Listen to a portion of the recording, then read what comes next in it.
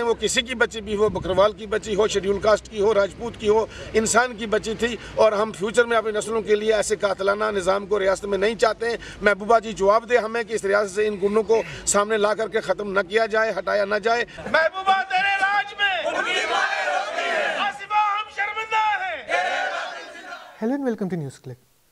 are a lot of developments that are taking place in Jammu and Kashmir. An 8-year-old girl was raped that was followed by a series of protests. Indo-Pak border is again heated up. To discuss the issue, we are joined by Gautam Navlakha, an eminent human rights activist who has been following the issue of Kashmir since more than two decades. So let's start from this uh, rape incident that took place. Uh, government instead of taking actions and ensuring that a proper judicial process is followed, protesters were booked under uh, NSA. Uh, what do you have to say about that? No, the interesting thing is after the the girl's dead body was discovered and there were marks, torture marks on her body, one would have expected the police to undertake an investigation and track down the perpetrators of this heinous crime. Instead of which, they delayed taking any action and it's only when people began to protest that they woke up to it. By the time they woke up to it, their attention was more towards thwarting the protesters rather than investigating the crime that has taken place. And this is what we experienced. I mean, the NewsClick story about this makes it very clear uh, what has happened. Now, Hiranagar has also been a center of other kind of protests in the past, where the Hindutva elements have been emboldened by this formation of the coalition government, and especially in Jammu, parts of Jammu region, they have been on a rampage, and the police has been more or less soft peddling crimes uh, committed by them and activities that they have been undertaking, you know, threatening people, local population, especially targeting the Gujars and Bakarwals. So this, the girl herself comes from from Brari Angan in, in uh, South Kashmir. Her family originally is from there and like all nomadic tribes in Jammu and Kashmir, they travel during the winter months, they move to the south towards Kathua.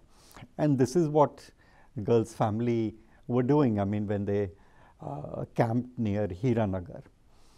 Hiranagar also happens to be one of the centers where a lot of uh, uh, conflicts have taken place last year and they have been reported also uh, where the targets have been the Gujar Bakarwals. One fears that this rape uh, and killing was not just a one-off incident, that it may be part of a larger design. Unfortunately, So can you throw some more light on this design that you're talking about? Why this series of attack on these two specific committees that you're talking about? Well, uh, one is of course because they want them to be ousted from land which has suddenly become more lucrative. That is part of the thing. See, a lot of Gujars and Bakarwals were shifted here from the border areas and they were provided alternative uh, uh, you know, location near Hiranagar. Hiranagar also turned has become the center where the land is uh, now being targeted for setting up the uh, uh, the new All India Institute of Medical Sciences that government of India has promised to Jammu and Kashmir. so land related issues have been at least at the at the at the core of this of this conflict that has been there and where the Hindutva groups emboldened by it are trying to set the terms to their for their I mean which would be advantages to them and would uh, disinherit uh, and disenfranchise the Gujars and Bakarwals. Let's come back to the issue of uh, assembly and a lot of commotions have been taking place there. Various issues have been raised. Uh, when it also comes to the relationship between Indo-Pak uh, Indo-Pak uh, di uh, dialogue that has to be initiated, there is also no progress on that front even after uh, NIA's, is met outside the country of two different country of these two different countries. uh, interlocutor has been also appointed, but there also seems to be no development on that front, if I'm right. So, I mean, what's actually happening when it comes to this uh, legislative part of Jammu and Kashmir? See, take it in, uh, uh, let's take a look at the, the border flare up the, around the line of control as well as in the international border. Now, since the BJP government came to power, this border has become very volatile. And it's part of their policy which they claim is meant to serve a lesson for Pakistan and make it uh, exorbitant for them to engage in so-called anti-India activities. Uh, and therefore, the shelling, the so-called uh, strikes inside that have taken place, uh, so-called surgical, surgical strikes that have taken place, etc., are part of that supposed to be that build-up to send a message that things are going to be very different and a new normal has, has been created. Unfortunately, if this was to serve as a deterrent, it has failed miserably. Uh, there has been no end in sight. Uh, the ceasefire violations continue from both the sides, shelling continues, and civilians in particular are the worst affected on both sides of the border. And these are ordinary people, villagers who live till their land, so their livelihood is affected. And they have been forced to migrate. And they become displaced. Schools have been closed, so children are losing precious time, educational, you know, education is being denied to them. This continues and there is a lot of concern cutting across all the parties barring BJP cutting across all other parties barring BJP are united on this issue that the, the, the, that this volatile nature of the border is, is turning Jammu and Kashmir into a hotbed and they fear that it may result in another uh, war, uh, so-called limited war or a, a long drawn out war between India and Pakistan and it's the Kashmiris on either side of the border who will suffer civilians who suffer primarily. So, assembly has taken it, this issue up. Even the state government is on record of requesting the government of India to heed the warning and to, to do something about it, to bring the level of, of violations down, to undertake some kind of a diplomatic uh, negotiations merely for the fact that you know the two national security advisors meet uh, somewhere outside the subcontinent to hold their talks.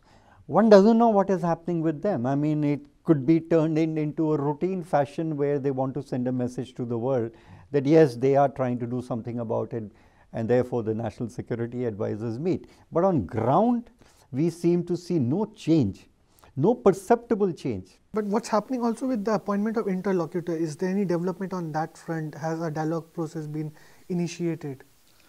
nobody expected, I mean, it was very clear when, uh, when the government of India itself, after appointing uh, the so-called interlocutor, uh, subverted this appointment by making it very clear that there is nothing that they have to, uh, they have nothing to offer.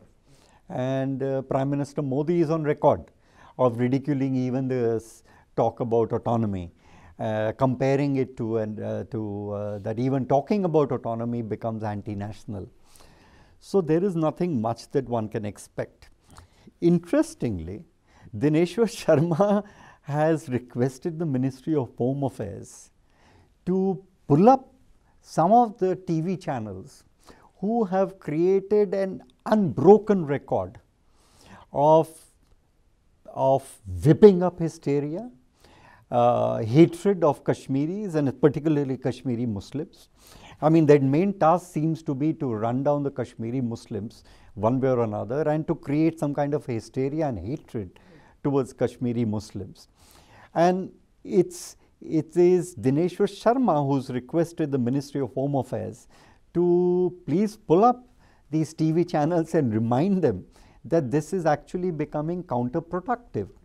Now, the interesting thing is the Ministry of Home Affairs on the other hand says that we, we believe that uh, that this is their freedom of uh, expression. expression and speech and we can't interfere with it. But the same Ministry of Home Affairs is also on record, officially on record, of asking the state government and the central government to deny advertisements to Kashmiri media, especially the Valley media, in the argument that they engage in anti-India propaganda. So where is their commitment to freedom of speech and expression?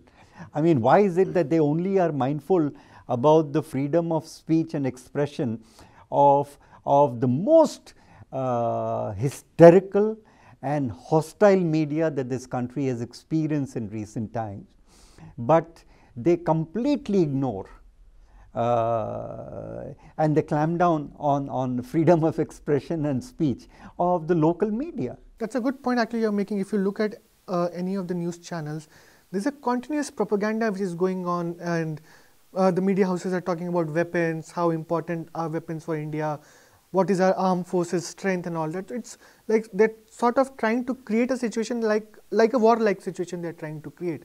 Let's come back to the last point that I want to make and uh, see everybody knows that a dialogue is needed and dialogue from both the sides is needed. Uh, but there's a more there's a bigger political question here. What happens to this coalition, the BJP PDP coalition, because they're on a tough war when it comes to this situation. What's the way ahead for them? Well, they'll trudge along. They have no they have no hope. They have such high stakes in perpetuation of their own self self rule and uh, and the power and pelf which they enjoy. I don't see them. Mm, uh, uh, doing anything different than what they have done. But I like to bring to your notice something else also simultaneously.